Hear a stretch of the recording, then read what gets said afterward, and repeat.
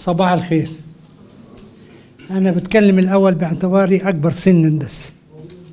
الدكتور خالد أشب مني وأصغر وأكثر شبابا ووسامة الحقيقة أنا اليوم أشعر بسعادة خاصة. ودعوني أقول لكم شيئا. عندما بدأنا التفكير في المنظومة الثقافية الجديدة للدولة لم يكن في ذهني أنا شخصيا سوى خمس وزارات وهي الوزارات التي كنت أظنها ذات اتصال مباشر بالوعي المصري أو العقل المصري أو الثقافة المصرية.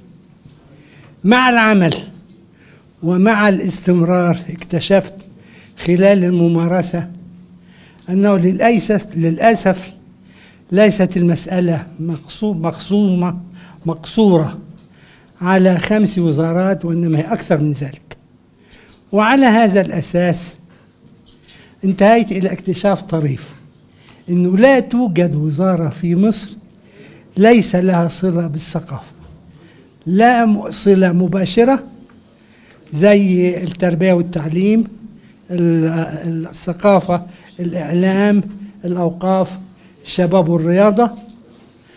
حتى الوزارات التي تبدو بعيدة الصلة نسبيا ذات صلة. كنت أتحدث مع الأستاذ الدكتور خالد وزير البيئة اليوم في الصباح وكنا نقول إنه ما هي مشكلة البيئة في مصر جزء منها أساسي هو وعي الناس هو ثقافة الناس.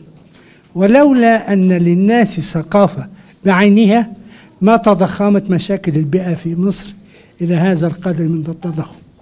إذا لو تاملتم بمعنى من المعاني سوف تكتشفون أن مشكلات مصر الأساسية. ربما لم تكن الفقر فقط لأن الفقر ليس فقر المال فقط وإنما هو فقر العقل وفقر العلم. وعدم وجود علم أصلا كعدم وجود مال أصلا.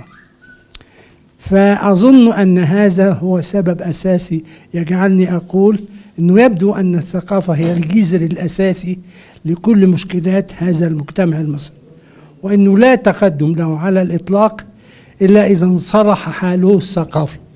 وعندما ينصلح حاله الثقافي سوف ينصلح وعيه الصحي سوف ينصلح وعيه البيئي سوف ينصلح إقباله على التعليم سوف ينصلح حتى دينه وإيمانه ويسير نحو جدة العقلانية والتسامح وقبول الآخر وحق الاختلاف وأنه عندما يصلح عقل المصري وتتغير ثقافته تتغير أشياء كثير جدا في حياته ومنها البيئة.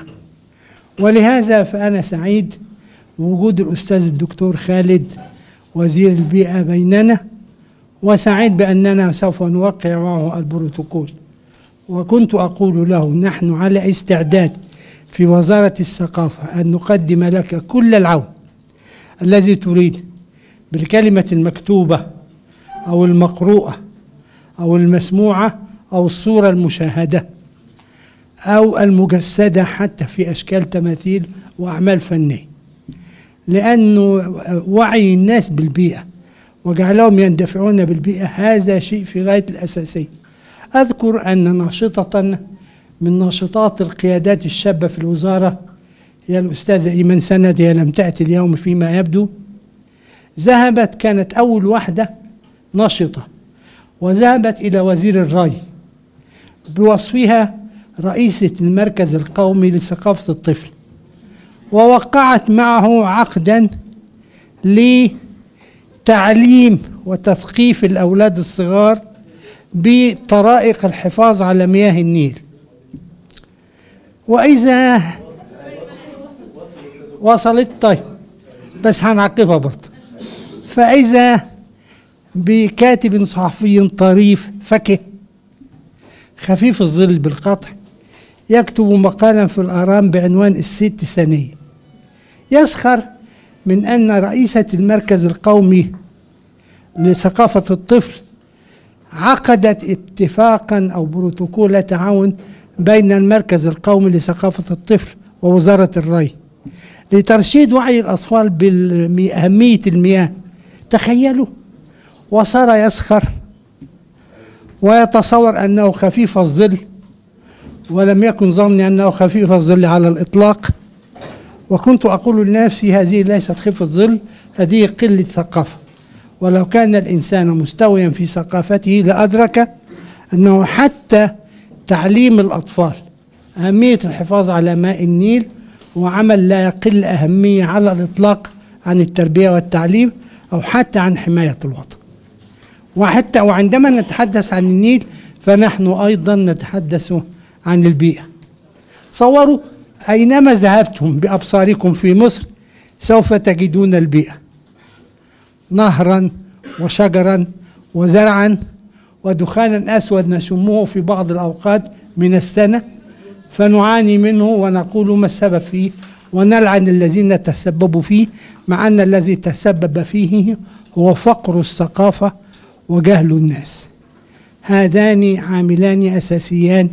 أظن أننا نستطيع أن نواجههما في تعاون وثيق بين وزارة الثقافة ووزارة البيئة. وأنا سعيد بوجود الدكتور خالد بيننا.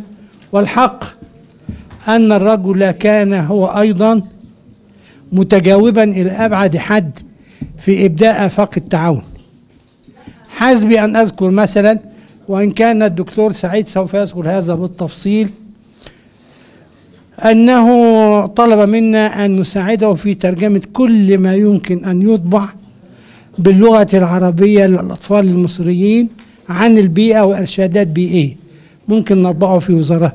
في مطابع وزارة الثقافة في أشكالها المختلفة. ممكن أن نساعده من خلال المركز القومي للسينما بأفلام تسجيلية عن أهمية الحفاظ عن البيئة. ممكن أن نشترك معه في جائزة مهمة للبيئة والحفاظ عليها.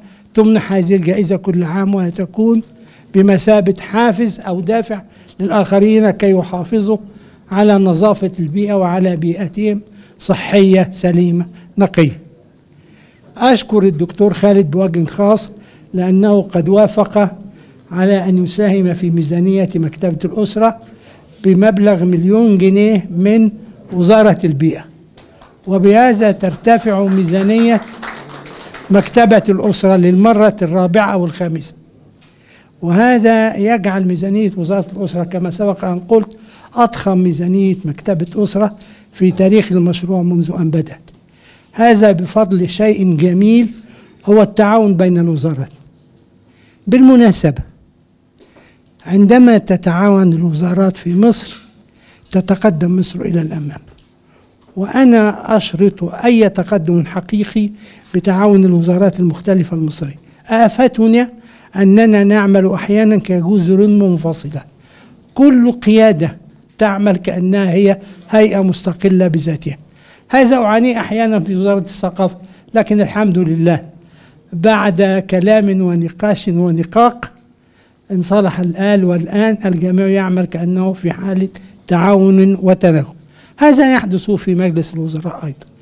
يحدث نوع من التعاون والتفاهم والتبادل أو ما نسميه الاعتماد المتبادل بين الوزارات بعضها وبعض. وهذا هو ما يحقق هدفنا ويتقدم بنا خطوات إلى الأمام نحو طريق المستقبل المنشود لبلدنا العزيز مصر. أرحب بكم في هذه القاعة في الصباح وأنا حريص على أن أختم فورا لأنه ليس لدينا وقت طويل إلا لكلام الدكتور خالد فليتكلم كما يشاء. وبعد ذلك سنضطر إلى الإجابة على بعض الأسئلة القصيرة. ثم ننصرف لأن الأوبرا هي ليست ملك وزارة الثقافة في هذا اليوم. وشكرا جزيلا وأدعو زميلي الدكتور خالد لكي يتحدث لما إليكم بكلمة. فليتفضل.